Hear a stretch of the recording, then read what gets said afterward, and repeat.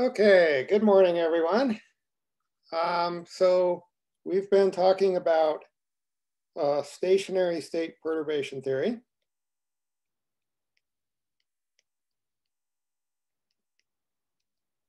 And we've been specifically so far interested in the case of non-degenerate states.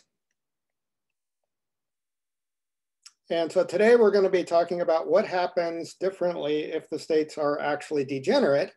But first, let's summarize what we've found so far in a little bit more in a little bit more shorthand notation than what we have been using. Okay, so one thing we're going to do is we're going to write for the matrix elements that we need WMP, that means the matrix element between any unperturbed state M and the perturbation Hamiltonian W and any other state, unperturbed state P. And we're also going to write curly E with two subscripts, for example, N and M, to be the difference between the unperturbed energies of those states. So curly En minus curly Em, those are unperturbed energies.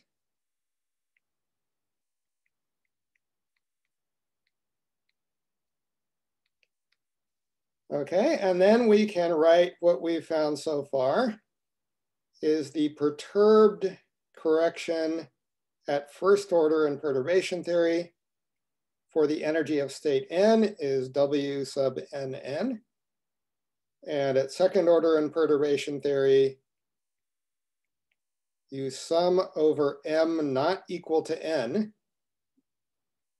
of Wmn squared over curly ENM.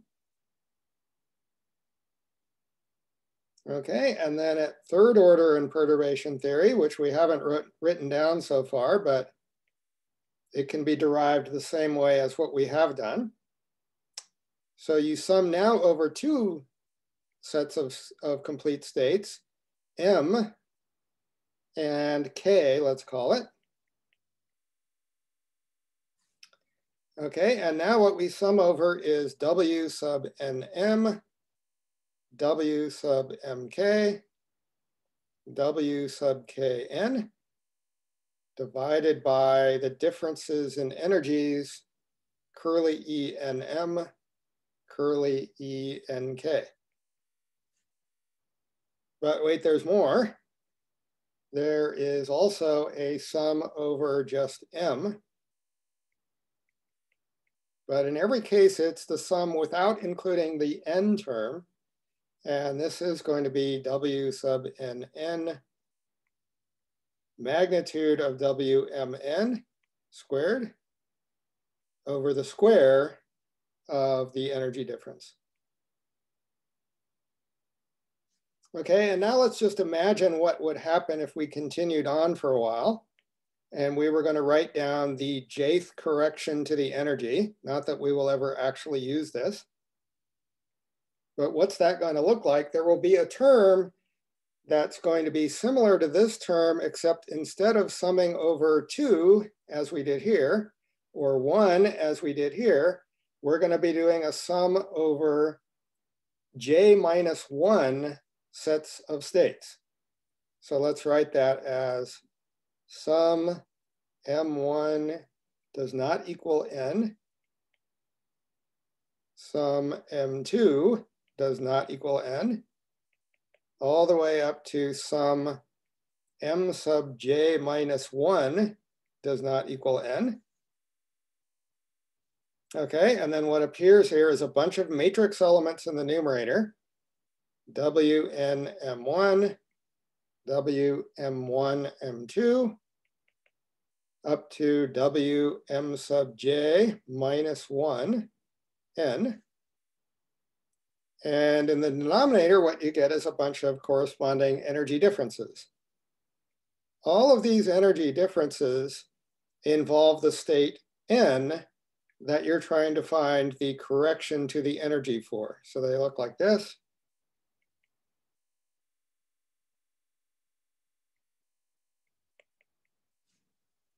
Okay, and so that's just one of the many terms that can occur. I'm going to write plus dot dot dot. So this one term that I've written is this term is the generalization of the first term in each of the previous ones.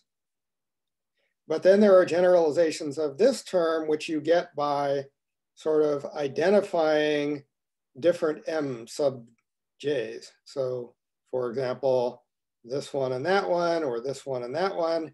And so you get a whole bunch of terms like that, that we won't attempt to write down. Okay, so that's what the general term looks like for the energies and then for the states. So there's a first order correction to the state n, which we worked out, looks like this.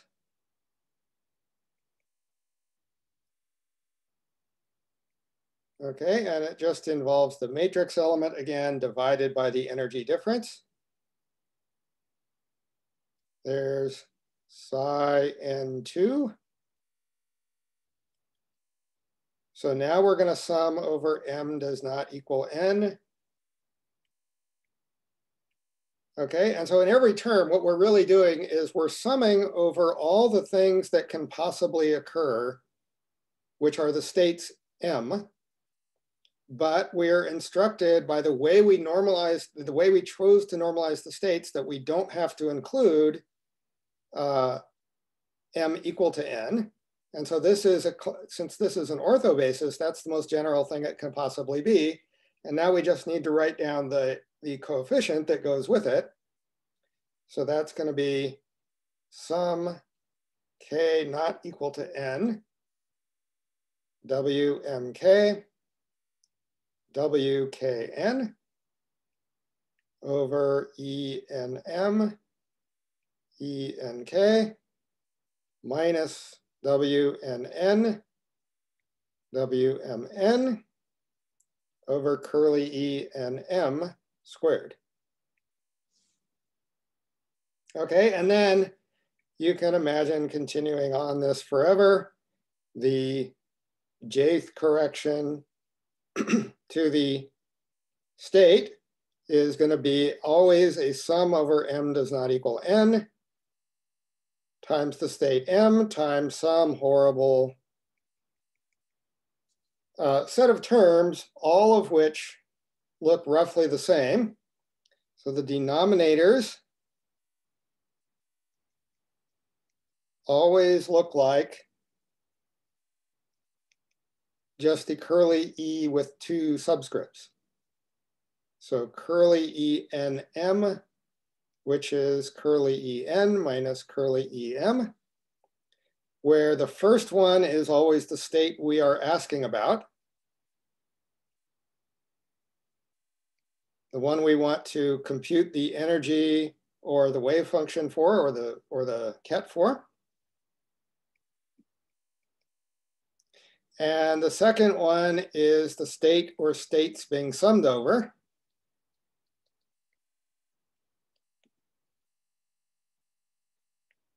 Which always exclude n. So as long as curly en and curly em are different for different states, then there's no problem. But the problem is that what happens if the unperturbed states n, or the, specifically the unperturbed state that you're asking the question about, the, what's the energy for, let's say, has degenerate unperturbed Hamiltonian eigenvalues. So H0 eigenvalues. Okay, so before we try to fix this problem, and let's note that it actually has to do with another related problem. And it may not be immediately obvious that these problems are related. But actually, if one thinks about it enough, one sees why they are related. And so the related problem is that the unperturbed state let's call it well, we'll, we'll keep calling it n, for a given perturbed state is ambiguous.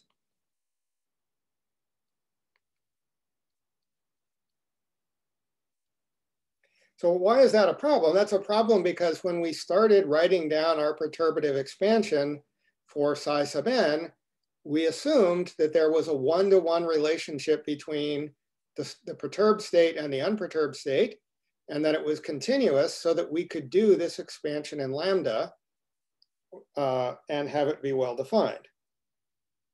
So let's say, um, to see this more graphically, let's say we start with the unperturbed state.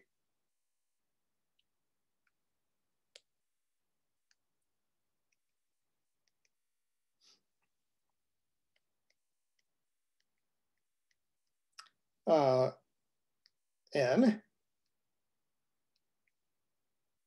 And we look at the perturbed state corresponding to it. But now we're going to go back to thinking of it as a function of lambda. And so in the non-degenerate case, everything's going to be fine. This is the non-degenerate case. Okay, so if we just say graph the energies as a function of lambda, they're going to look something like this maybe. Okay, this is lambda. These are um, En of lambda. And we're starting at, let's say, curly E1, curly E2, and curly E3. And if we follow these lines, then we unambiguously get the energies at any other value of lambda just by following the lines, right? You can go back and forth between which one is which. And so the reason that's important is because if we go back here and we say, which states should we be excluding from the sum, we know which states should be excluded from the sum for any given, let's say E2, because we just follow it back and we find curly E2, and that tells us which state we should be excluding from the sum. Right, but now let's do the degenerate case, and we're just gonna graph the energy eigenvalues again. I could also, in a sense, I could be trying to graph the states themselves, but it's hard to graph a ket. The energies are actually numbers. So I'm gonna, again, graph energy here as a function of lambda. And now since it's degenerate, what that means is I might have one state that does this, but then I have another state uh, as a function of lambda that maybe does this, or at least the degenerate case means they're all meeting at a point. And what I'm graphing here is not the result of perturbation theory. What I'm graphing here is sort of the truth, what we would get if we could actually compute everything exactly. Right, and so this is E1 and E2 and E3 and E4. And so if I go back up to here and I say, okay, for state E2, which state should I be excluding from the sum? And I follow this line back, but unfortunately what I find out is there are several states that have that same energy eigenvalue. And so I don't know which of the three states that all have that same energy eigenvalue, which, which one of those three should I be excluding from the sum when I'm doing uh, the sum up here. Okay, so does, that was graphically, to say that in words, let's say I had, and we'll just make it easy by saying there are only two of these states that are degenerate. Let's say I have N and M that both have the same unperturbed energy.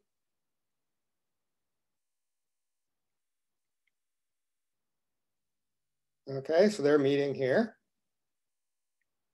Then the question we need to be able to answer is which one of them is the correct one or ones to exclude from the sum. So then which linear combination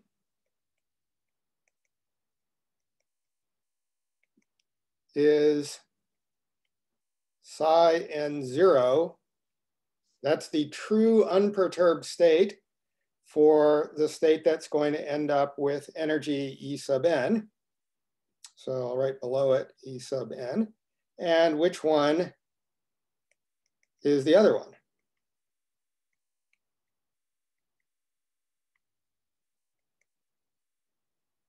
Okay, and so we need an unambiguous answer to this, this question. And because we exclude whichever uh, state is, is the same as the one we're talking about from the sum, the problem of the bad denominators, the curly ENMs that can blow up, is really the same problem as the fact that you might have chosen the wrong linear combination.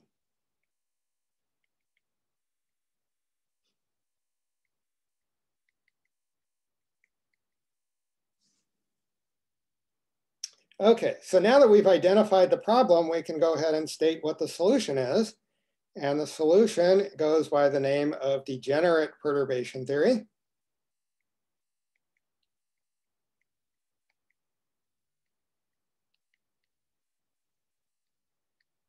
And once we figure out how this goes, it turns out to be not as, not as difficult as you might think. So here's the statement of how it works. To find the unperturbed, or the, sorry, the perturbed state and the perturbed energy for states that have degenerate unperturbed energy.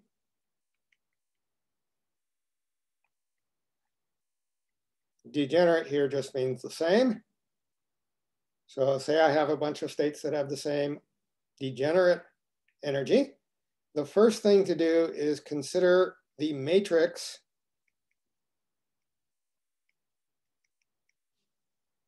W and M, which I remind you is just this matrix element, in that subspace.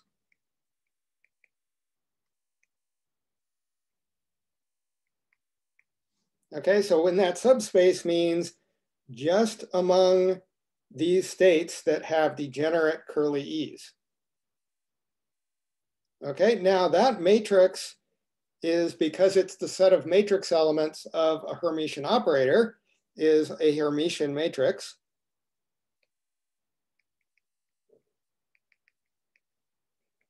And that means we could, if we wanted to, and we do want to, we can choose the ortho basis to make it diagonal. So whenever you have a bunch of degenerate states, there's a freedom to choose your ortho basis among those states. And we're going to do so by making W and M diagonal. Okay, and this is a choice that we, we are free to make and we are going to make. Now, first, before we make that choice, we need to remember why it is we're allowed to make that choice or why it's guaranteed that we will always be able to. And the answer is a theorem that you can find back in the notes that we proved back in uh, the last semester.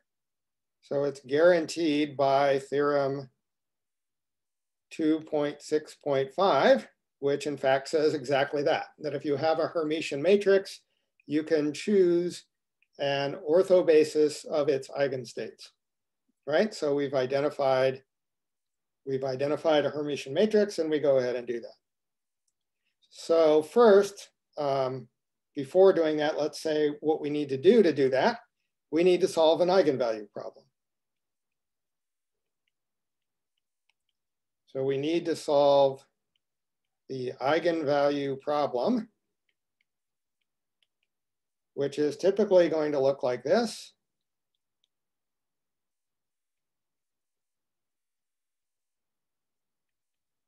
That the determinant of the perturbation Hamiltonian minus lambda times i equals zero.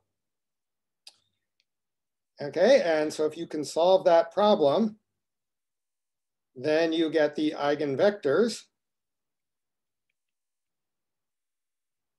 of your matrix W and M. And those are going to what, be what we choose to resolve the ambiguity as our states, as our unperturbed states n, and the eigenvectors are going to be the first order correction to the energy. Okay, so in that basis, since it's diagonal, uh, W and N here is just a set of numbers. And those are the first order correction to the energies. And we've resolved our ambiguity of which state we should exclude from the sum by uh, choosing them to be the, the n's. Now, there's one annoying feature of this, which is we're assuming that we can actually solve this eigenvalue problem. And maybe we can't. Maybe, it's, maybe that is also too difficult of a problem. In that case, well, that's just the way things go. But there's a good reason why this is much easier than just solving the complete problem. And that is because we're solving this eigenvalue problem usually on a subspace that's very small, hopefully two by two or something like that, or three by three. We're not solving it on the complete subspace of states, okay, which might be much more difficult and typically is much more difficult. Okay, anyway, let's just assume that we can actually solve that problem and that we have solved that problem, that eigenvalue problem on that subspace of states. Then if you follow what we did before,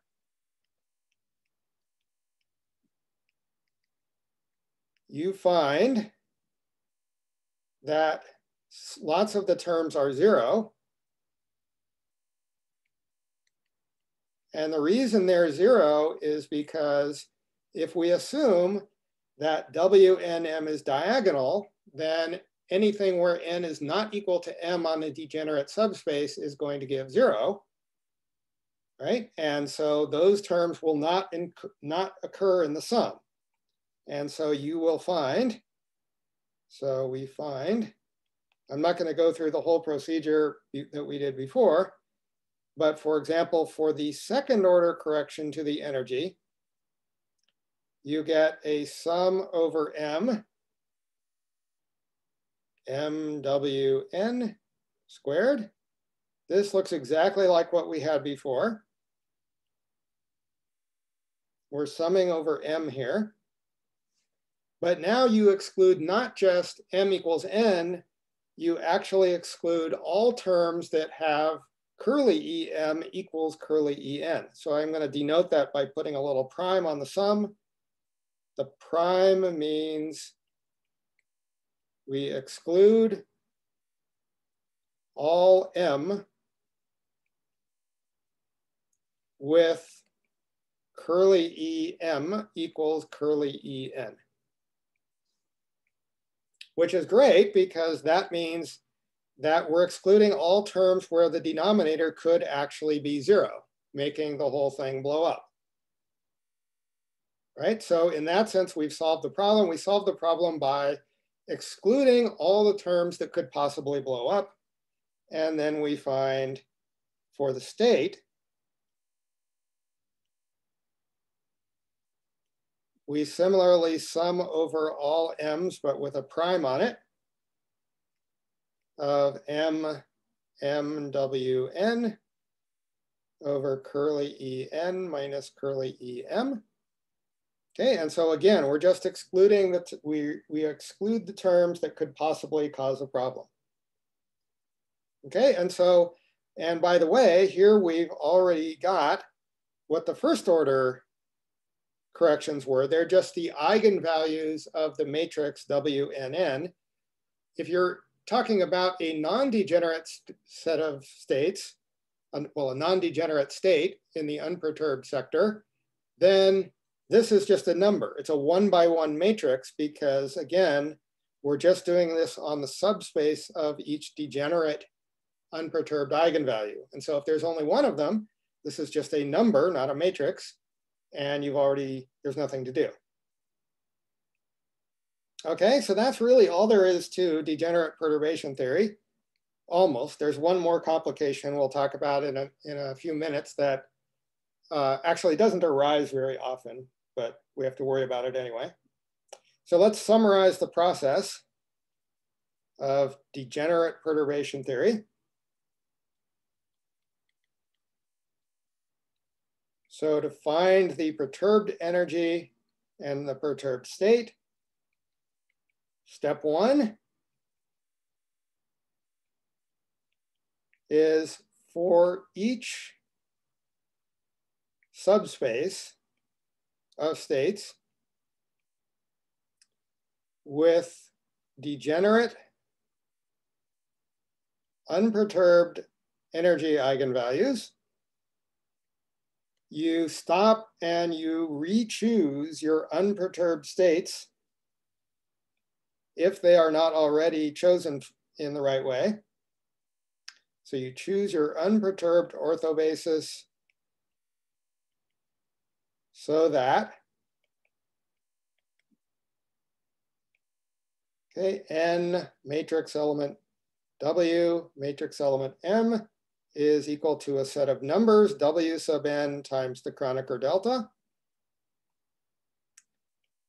for every pair of unperturbed energies that are equal. So this is just your diagonal matrix. Okay, and so that's step one. In favorable cases, you'll find out that accidentally step one has already been done for you. Maybe the basis, the orthobasis that you've been given has already got this feature that the perturbed Hamil the perturbation Hamiltonian is a diagonal matrix. But if not, then you have to stop and do this step. Now, sometimes, and we'll find this, for example, when we do the fine and hyperfine structure of the hydrogen atom, it's not obvious right away which is the, the orthobasis anyway. And so you, all, you always have to make sure you choose an orthobasis. And this step one is just telling you which choice should you make among many choices that might seem plausible otherwise. It's easier to see this in examples perhaps than, uh, than saying it abstractly. Okay, and then step two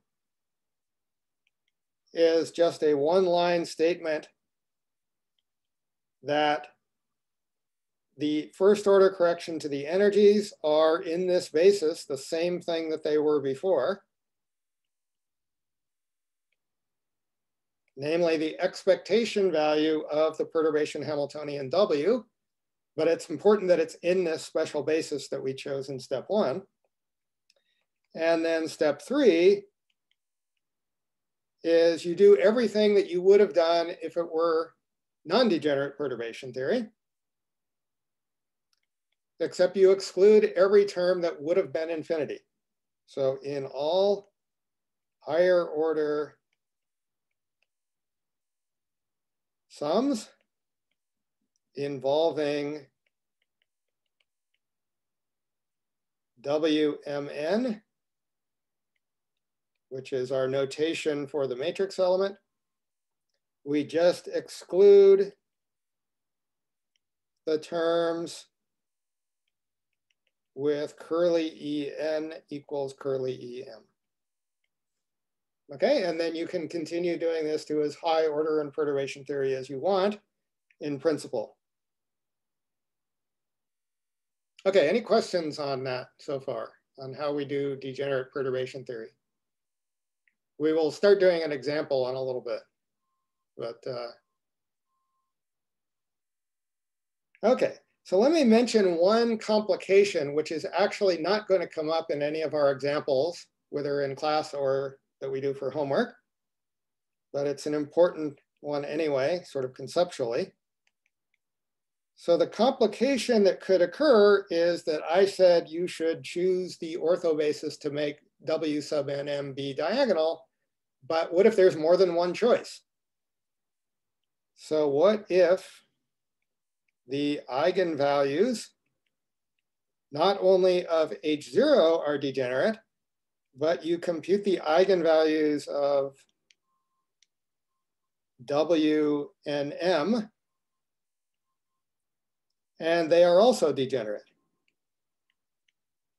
Then what do you do? Because the whole point is we need a unique one-to-one -one correspondence between our states psi sub n and our unperturbed states n. And so the problem here is the corresponding states n that we would like to choose are still ambiguous.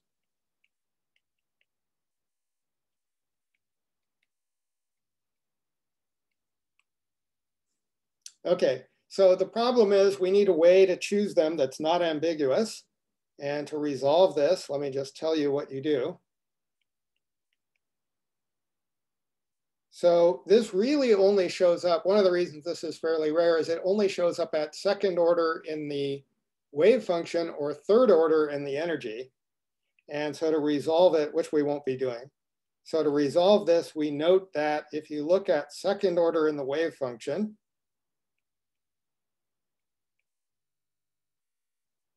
the problem is it contains terms like the following. So there's a sum over m not equal to n, m times a sum k not equal to n m w k k w n over curly e n minus curly e m times curly e n minus curly e k. Okay, and so the point is that only states K outside of the degenerate subspace can, can contribute because of the way we chose the matrix elements.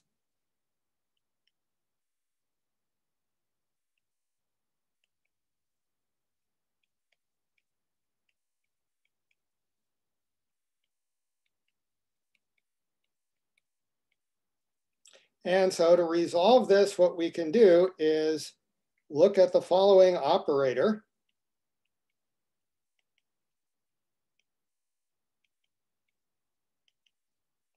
Okay, and so what I'm going to do is just do a sum over k not equal to n, w k k n, or kw, over curly en minus curly ek.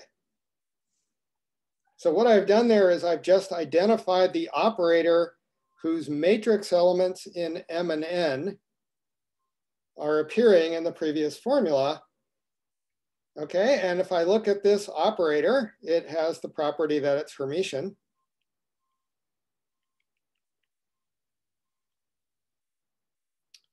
Okay, and so it can be diagonalized. On the uh, on the space of states where it's uh, where W is degenerate. So it can be diagonalized on the subspace where WMN is degenerate.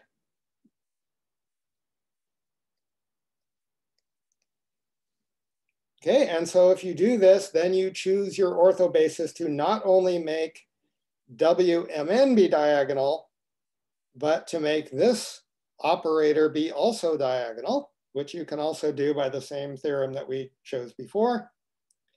And having done that, you will have constructed a basis so that the following is a diagonal matrix.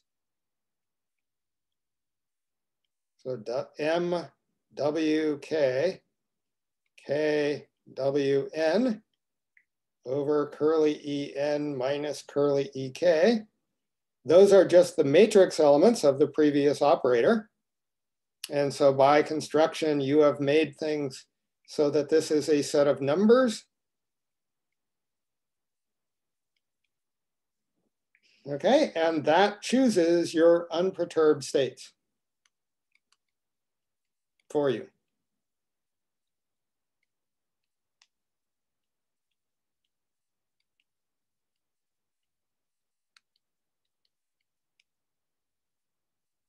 Okay, and so that will resolve the ambiguity. This is all the all this degenerate perturbation theory is really about resolving the ambiguity between the perturbed states and the unperturbed states in such a way that you don't get horrible denominators that would go to zero and therefore make everything blow up.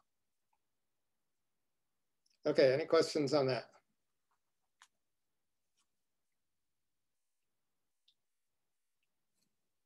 All right, so let's do an example. And so the famous example that, to which this applies is the Stark effect in the hydrogen atom.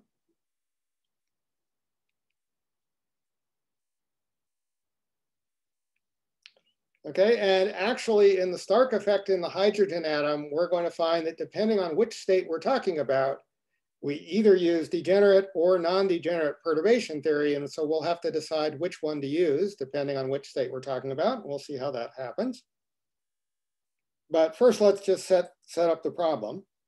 So the problem is just that we're going to apply an electric field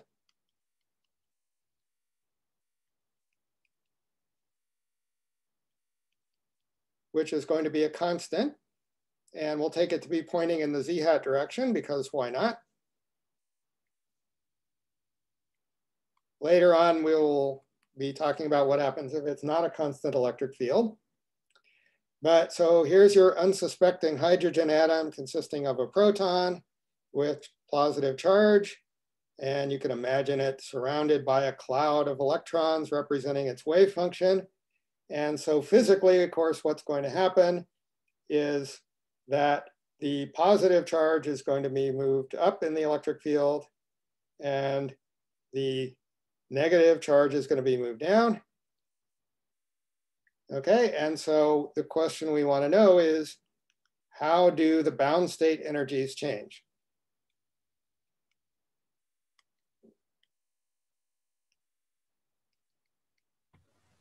Sorry, Professor. What did you say the reason that the positive charges move up and the negative charge moves down? Just because they're moving in response to the electric field that's being applied. Oh, okay. Right? So charged particles move in the direction of the positive charged particles move in the direction of the electric field. Okay. Okay. So we could experimentally, of course, we could just measure how the bound state energies change by measuring, you know, if we measure that light given off or absorbed by a hydrogen atom, then we can measure the energies of the photons that we see, and that will tell us the bound, that will tell us at least the differences in the bound state energies. And so this is something that we could measure experimentally, but now we just want to compute theoretically what, what these should do. Okay, so first of all, let's consider the ground state, n equals one. And the ground state of the hydrogen atom is not degenerate.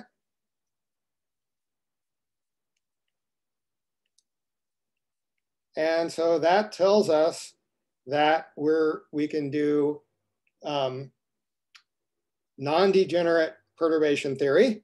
And just looking ahead to what we're going to find, we're going to find out that the energy change is quadratic in the applied electric field magnitude. For n equals two, then there is a degeneracy. There is more than one state with uh, that has the n equals two quantum number that have the same energy. And so this is going to be linear, it turns out, in the electric field. You can take those as experimental facts, and now we want to understand where they come from. Okay, so, so the first thing we're going to do is figure out what the per perturbation Hamiltonian is. So we are adding an electric potential.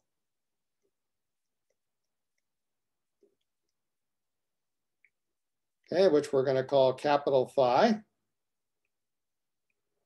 And that's equal to minus the applied electric field times the z coordinate z. Right now I'm just writing things classically. And so that's true because the electric field is minus the gradient of the electrostatic potential.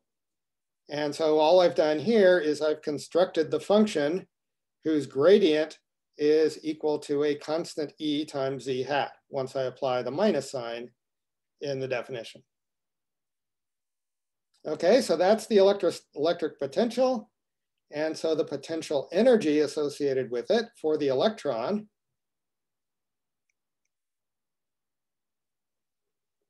or the change in potential energy is equal to minus E, because that's the charge on the electron, times the electrostatic potential phi.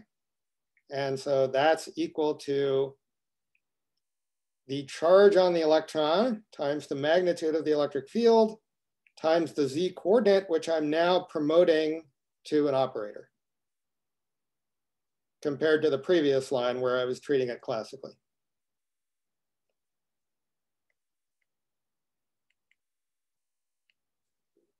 Okay, and so that's the change in potential energy compared to if I weren't, if I wasn't including the electric field. So that's what's going to play the role of our W in perturbation theory. And again, we're not gonna, we're not gonna be writing down lambda. Lambda you can take to equal one because it's done its job of just counting which order in perturbation theory we're doing. Okay, so now in the non-degenerate case, things are relatively easy. Let's go ahead at least conceptually easy. So let's go ahead and do the non-degenerate case. That's n equals one. So we're going to be computing the first order correction to the state 100. Remember, 100 is NLM, but if n is one, then L and M are both forced to be zero. Those are the only states that exist. And so we just have to compute this matrix element. Okay, which is little e times capital E times the matrix element of the operator Z.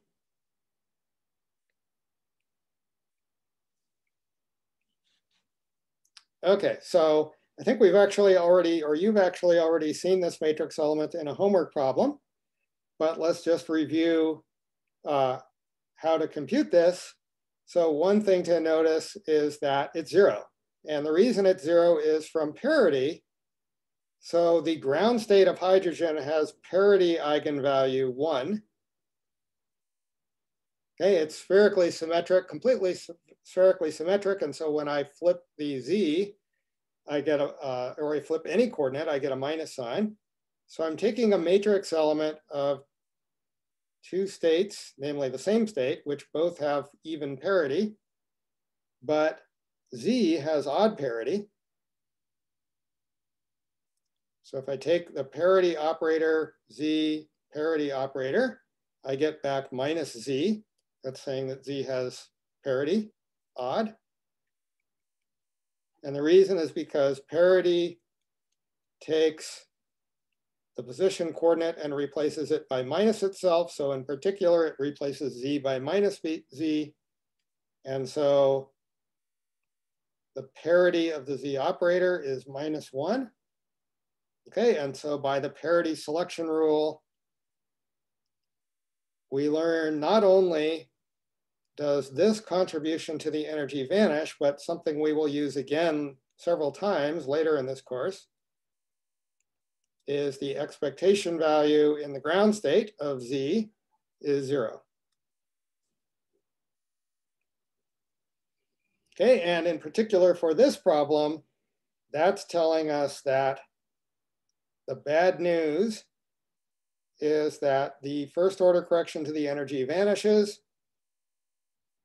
Okay, and what that means is we're going to have to do it at second order in perturbation theory that's related to the fact that the answer is actually going to be quadratic in the applied electric field. That's really, if you think about it, that's just another way of saying that the leading effect is, is of second order in perturbation theory, not first order in perturbation theory. So although the non-degenerate case is conceptually easier, in practice, it's actually harder because you have to do one order more in perturbation theory than the degenerate case here, where we're actually, this is telling us in advance that we actually only have to do first order in perturbation theory to get that answer. Okay, so by the way, there's an alternate method besides the parity selection rule that you could use, and that's just to compute it. It's a little less elegant perhaps, but z is equal to r times cosine theta. And so if you take the expectation value of z in any spherically symmetric state, this looks like an integral with respect to cosine theta, or it's proportional to an integral with respect to cosine theta of cosine theta itself coming from the z. Okay, and then everything else is some function of r. You might have to integrate over r, you might have to integrate over phi. Okay, but this is equal to 1 half cosine squared theta, evaluated at 1 minus evaluated at minus 1, but those are the same thing, and so you get 0. Okay, so uh, we might as well take a small detour in this problem to go beyond what we might need specifically for this problem. And that's to ask for general selection rules for Z. These will turn out to be useful later. So more generally, let's ask the question of the selection rules. That's really saying when do they vanish? for matrix elements of Z. And so what we're asking is if we have a state of the hydrogen atom with general NLM and general N prime L prime N prime, and we consider that matrix element, when is this non-zero?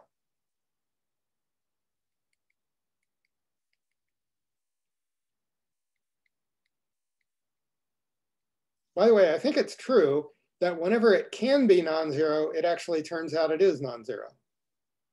So there's never a case uh, that I know of where if I apply the selection rule and it doesn't say this has to vanish, then it actually, there's never a case where it actually does vanish if it doesn't have to vanish. Okay, so let's do one selection rule and then we'll do the more complicated one next time. So claim one is this vanishes unless m equals m prime. So we need m prime does not, sorry, m prime equals m.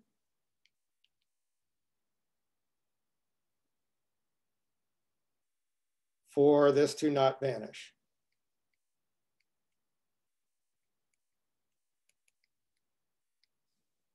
Okay, so let's prove that, see how it goes. And the proof is, first we're gonna start with looking at this commutator of L sub z with z. Okay, so you can compute this. L sub z is xpy minus pyx. And we're taking the commutator of that with z. But all of the operators x and py and and um, sorry, that should be x py minus pxy.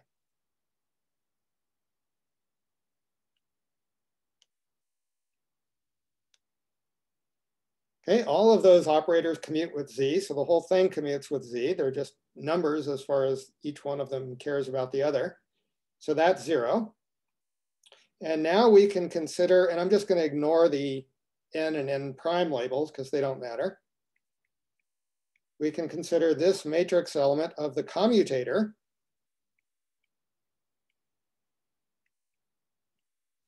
Okay, but L sub z in the commutator either is acting on this state where it's giving h bar m, or it's acting on this state where it's giving h bar m prime. And so when you work this out, this is h bar m prime minus h bar m times L prime m prime z L m.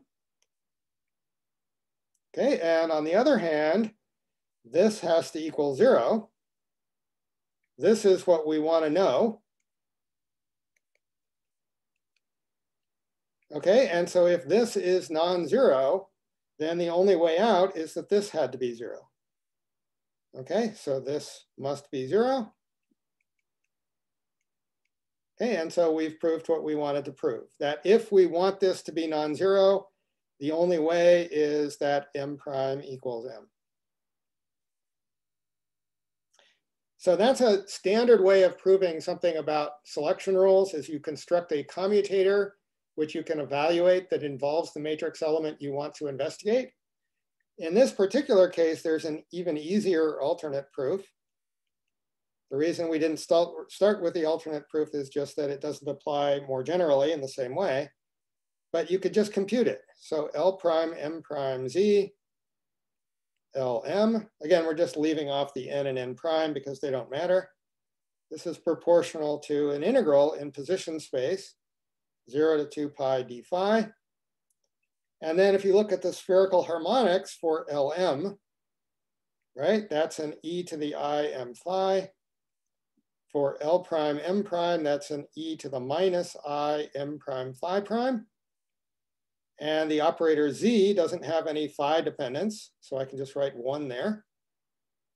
And so that's proportional to 0 to 2 pi d phi e to the i m minus m prime phi, okay, which is only non-zero if m equals m prime. All right, so that's one selection rule for the operator z. And next time we will start off by stating and proving a slightly more interesting selection rule for the operator Z. All of these are for the hydrogen atom. If you have some different system, you have to start over and worry about what the selection rules might be for that system. But since we're going to be spending a lot of time talking about the hydrogen atom, now is a good time to work out its selection rules for the operator Z. All right, so that's it for today. Are there any questions?